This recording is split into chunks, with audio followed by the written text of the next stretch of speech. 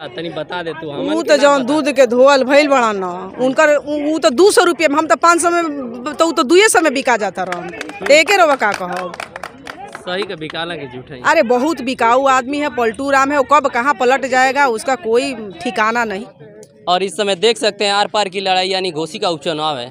और ऐसे में तमाम दिग्गज दोनों पार्टियों के इस समय घोसी में ही मिल जा रहे हैं। तो यहाँ पहले सबसे पहले अपन परिचय बता देते तो ठीक रहे। मेरा नाम सीमा राजभर है। मैं बागी बलिया से हूँ। जी। तोहरे बगले का एगो जिला है गाजीपुर। जग से ओम प्रकाश राजभर। आइल हूँ और कल उनसे जब हम सवाल करवी तो कहूँ कि जाके पूछिए ना कि आज ले सपा का कैल।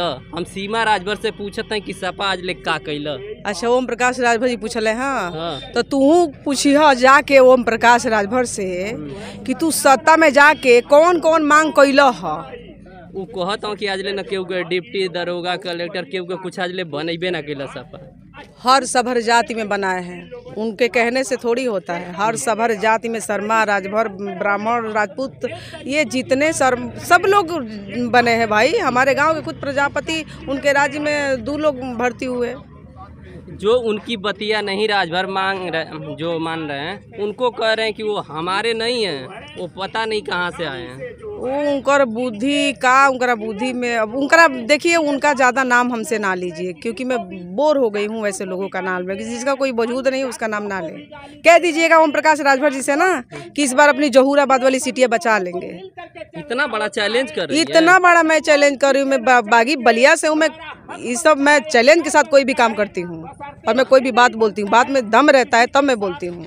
इस बार कह दीजिएगा ओम प्रकाश राजभर से ना कि सीमा राजभर तारा से पूछले बड़ी के जहूराबाद के सीटिया तू मेरी बचाइए के दिखाव? काहे से कि हम जब पूछ दी बतिया तो कहत हूँ कि तू लो तो पाँच सौ रुपया में बिका जाता हो तो का ओम प्रकाश कैसन दूध को धोल होगा? तनी बता दे तू के तो जौन दूध के धोअल भइल बड़ा न। उनकर ऊ तो दू सौ रुपये में हम तो पाँच सौ में तो तो दुए सौ में बिका जाता रहन तो एके रोवा का कहब सही का बिकाला के झूठ है। अरे बहुत बिकाऊ आदमी है पलटू राम है वो कब कहाँ पलट जाएगा उसका कोई ठिकाना नहीं है। अरे कहा? देखिए आज अभी चुनाव में अभी चल रहा है उपचुनाव में चल रहे हैं ओम प्रकाश रावत खदेड़ा कर रहे हैं। हमने कहा ना कि उत्तर प्रदेश उसका खदेड़ा हम करके मानेंगे। खदेड़ा से चालू हो गया उनका। खदेड़ा चालू? हाँ खदेड़ा चालू हुआ खेद रहे हैं सब द्वारा पे तो बैठ के। अखिलेश यादव जी के पक्ष में है।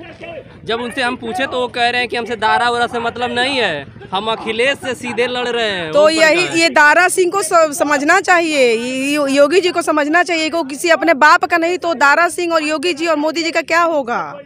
वो किसी का नहीं है। देखिए गठबंधन में है फिर भी कह रहे कि हम दारा का वोट नहीं मांग रहे हैं। तो किसका वोट मांग रहे हो? हम्म, उसमें भी अब कि चुनाव बाद उसमें भी भाग सकता है ये। मतलब कोई भरोसा नहीं कोई भरोसा नहीं अभी बोले ना अभी बयान में कि हम दारा का कोई मतलब वोट नहीं मांग रहे अच्छा, हैं मीडिया पे कहाँ इतना भड़क रहे हैं? जब हो रहा है पैसे की बात कर रहे हैं। ओम प्रकाश राजभर ना? हाँ। वो पैसवे खाली खखाए हुए हैं। मलाई वाला उनको बस चाहिए मलाई लगना चाहिए उसमें। मलाई तो मिला नहीं है कभी।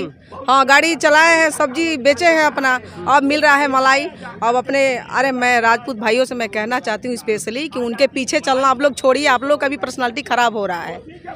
वो कह रहे थे कि जो परिवारवाद कर रहे हैं, सिर्फ़ परिवार के ही घर को सीट दे रहे हैं, ये कर रहे हैं। लेकिन आज ओम प्रकाश क्या कर रहे हैं? ओम प्रकाश राजभर वही कमावा कर रहे हैं जो आपने अभी कहा। परिवारवाद जो है ना, अपने बेटे के चक्कर में, वो अपने बेटे के मुँह में वो वो फंस गए हैं। अब उनकी राजनीति खत्म, बिल्कुल खत्म।